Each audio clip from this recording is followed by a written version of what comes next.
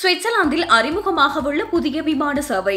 சுவிட்சர்லாந்தின் சர்வதேச விமான சேவை இரண்டாயிரத்தி இருபத்தோராம் ஆண்டு டிசம்பர் மாதம் பத்தொன்பதாம் தேதியிலிருந்து கோக் சர்வதேச விமான நிலையத்திலிருந்து புதிதாக விமான சேவை ஒன்றை வழங்குவதற்கான திட்டம் ஒன்றை மேற்கொண்டுள்ளது. இவ்விமான சேவை ஞாயிற்றுக்கிழமைகளில் இடம்பெறும் எனவும் அறிவிக்கப்பட்டுள்ளது. இவ்விமானம் சுவிஸின் உள்நாட்டு நேரப்படி ஜெனீவா விமான நிலையத்திலிருந்து மதியம் பனிரெண்டு பத்துக்கு புறப்பட்டு கோக் சர்வதேச விமான நிலையத்தை பகல் ஒன்று இருபத்தைந்துக்கு வந்தடையும் என அறிவிக்கப்பட்டுள்ளது. பின் அதே நாளில் மற்றும் ஒரு பயணத்தை கோக் விமான நிலையத்திலிருந்து பகல் இரண்டு பத்துக்கு பயணத்தை ஆரம்பித்து சுவிட்சர்லாந்தை மாலை ஐந்து இருபதுக்கு அடையும் என அறிவிக்கப்பட்டுள்ளது. இது தொடர்பில் கோக் விமான நிலையத்தின் தலைமை பொறுப்பாளர் பிரையன் கல்லாகர் தெரிவிக்கையில் கொரோனா தொற்று நிலைமையின் போது சரிவடைந்த வர்த்தகத்தை மீண்டும் கட்டியெழுப்பும் நோக்கில் இந்த திட்டம் மேற்கொள்ளப்பட்டுள்ளதாக கூறியுள்ளார். இவ்விமானங்களுக்கான முன்பதிவுகளை நிகழ்நிலையில் மேற்கொள்ள முடியும் எனவும் அறிவிக்கப்பட்டுள்ளது. இந்த நிலையில் இவற்றுக்கான முன்பதிவுகள் இரண்டாயிரத்தி இருபத்தோராம் ஆண்டு நவம்பர் மாதம் ஐந்தாம் திகதி ஆரம்பிக்கப்பட்டுள்ளமை குறிப்பிடத்தக்கது. けて